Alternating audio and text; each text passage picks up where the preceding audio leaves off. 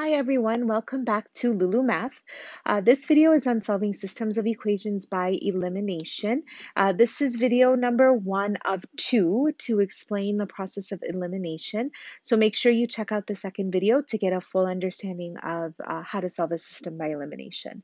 So uh, the reason why this method is called elimination is because you're literally eliminating um, a variable. Uh, remember, when we have uh, a, uh, an equation with two variables here, we are trying to go down to one variable so that way we can uh, actually solve our equation easily. So 8a plus 3b equals 11 has two variables. 5a minus 3b equals 41 has uh, two variables as well. We're going to eliminate one of our variables, get down to one variable, and now we can solve it more easily. So let's talk about how to do this. So I'm going to rewrite the um, equation that I uh, highlighted in blue uh, down here. So 8a plus 3b equals 11. Okay, and then I'm going to rewrite the purple one as well. 5a minus 3b equals 41. Now, if you notice, we have a positive 3b and a negative 3b. And if you were to add the positive 3b and the negative 3b together, um, that would give you 0. They would cancel each other out to give you 0 which is exactly what we want to do. We want to eliminate something. So the b's have been eliminated. But if I'm going to add the b's together, then I have to add everything else in the equation together as well. So I'm going to add um, the blue equation and the purple equation together. So 8a plus 5a is 13a. 3b plus negative 3b cancels each other out, and 11 plus 41 is 52. Now I've gotten to a point where I uh, only have one variable, so it's easy to solve. I just divide both sides by 13, and I end up getting a equals 4. Now that I've done that, the um, elimination piece is over. I've uh, solved for one of my variables. Now all I have to do is just solve for my other variable. I can use substitution at this point because I already know uh, the value for one of my variables. So I'm going to choose either equation. Um, it doesn't matter. So I'm just going to choose the first one. I'm going to write it down again. 8a plus 3b equals 11. Okay, and I'm going to substitute this 4 in right here. So let's do this in pink so you can kind of see that that's going in for the A right here. And it's going to say 8 times 4 instead of 8 times A plus 3B equals 11. Okay, so now all I have to do is just go through and solve for B. So 8 times 4 is 32. I'm going to copy down plus 3b equals 11, get rid of that 32 by subtracting it, gone. So I end up getting 3b equals 11 minus 32 is negative 21. Divide by 3, divide by 3, so b equals negative 7. We've solved our system because we've solved both variables. Um, so that means that our solution is going to be uh, 4, negative 7. When we write our solution for an answer that is not just x and y, we just put it in alphabetical order. So I just want to use Desmos to verify that um, I have the correct solution. Uh, if you notice here, our equation was 8a plus 3b. Here I'm using x and I'm using y because uh, in order to be able to graph it out, I need to use uh, x and y.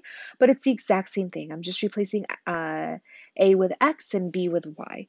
Um, so if you look right here, my red equation is 8x plus 3y equals 11. There are infinite uh, points on this line that satisfy this equation because I have x and y. Then I'm going to also graph out uh, the second equation Again, there are infinite uh, solutions on this equation as well, but there's only one solution that satisfies both equations, and that's where they intersect, and that solution is at 4, negative 7, which is exactly what we got as our answer. In our next example, uh, we have, uh, we're going to use elimination again. We have 4x plus 7y equals negative 11, and we also have 4x minus 3y equals 19. And um, if you notice right here, we have um, our uh, x's right here are uh, the same amount, positive 4x and positive 4x.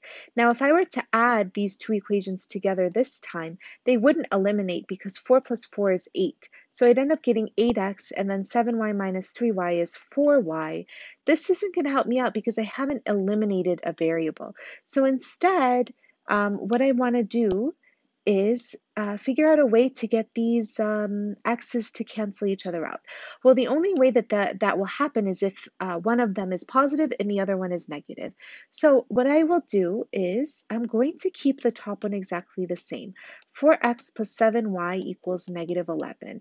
But for the bottom one here, I'm going to multiply the entire bottom equation by negative 1.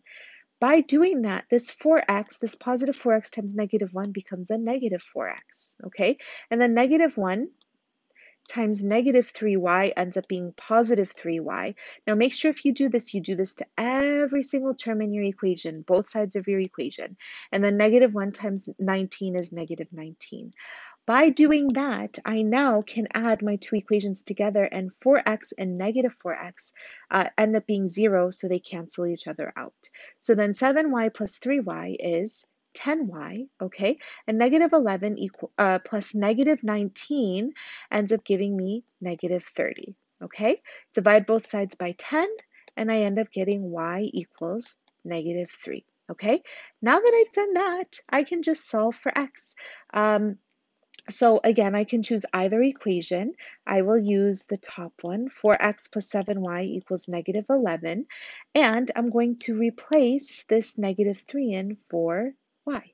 So I'm going to write down, copy down 4x plus 7, but instead of 7 times y, I'm going to say 7 times negative 3, and then equals negative 11 okay?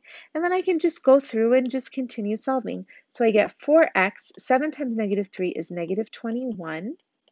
I can add 21 to both sides to get rid of the constant here. So I end up getting 4x equals, now just divide by 4. And here I end up getting x equals 10 over 4, which reduces to, uh, uh, they're both divisible by 2, so I end up getting 5 over 2, or I could say x equals 2.5. Okay, so that means that my solution is going to be 2.54. Thank you for watching. Uh, if you have any questions, let me know in the comments below or at lulumath.com. Um, there is a second part to this video, so make sure you check it out to get a full uh, understanding of solving systems by elimination. Um, you can also find uh, blank or filled in notes sheets that go along with this video at lulumath.com. And lastly, don't forget to subscribe or share. Uh, thank you uh, and see you next time. Bye.